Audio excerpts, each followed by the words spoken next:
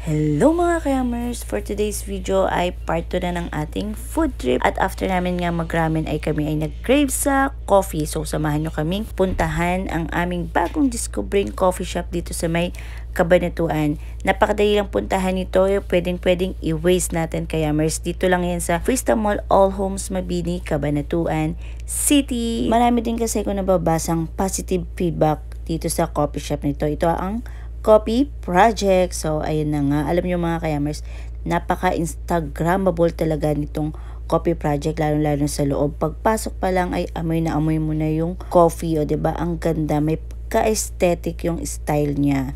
Tapos ang dami pang pagpipilian na food kayamers pagpasok pa lang meron ng tinapay kang makikita. Pwedeng pampasalubong yun. And ang kagandahan pa rito ang dami nilang mga quotable na quotes na ang kaganda talaga kay Yummers And so, ayun na nga, for the pili na kami ng aking sister.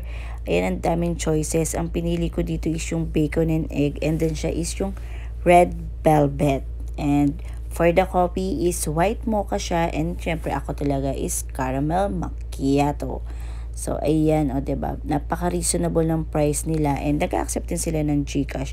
And nag aano rin sila ng pasta and sandwiches. Nag-offer din sila. And may mga Harry Potter notebook. Ewan ko kung binibenta nila yung sinesell.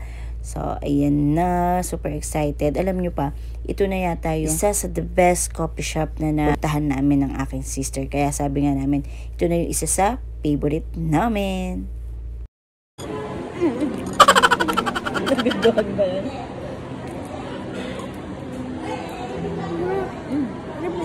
Sarap. Mm. Sarap. Sarap. Oh, pick the white chocolate. Is that dessert? Sarap dandalay kain.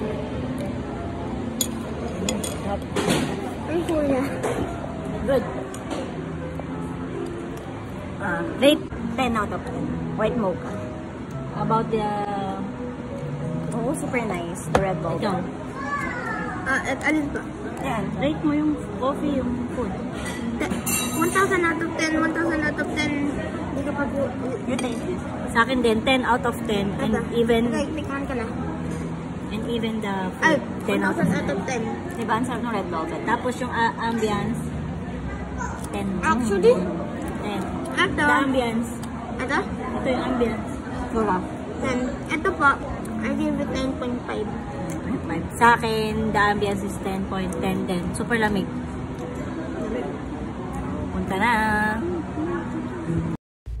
So, ayan na nga after namin lamigin sa Coffee Project Ice Coffee kasi ang aming in-order. Kaya, Mers, ay, punta kami dito sa supermarket para medyo bumaba yung kinain natin. Kaya, Mers, ala lang, ikot-ikot lang kami dito.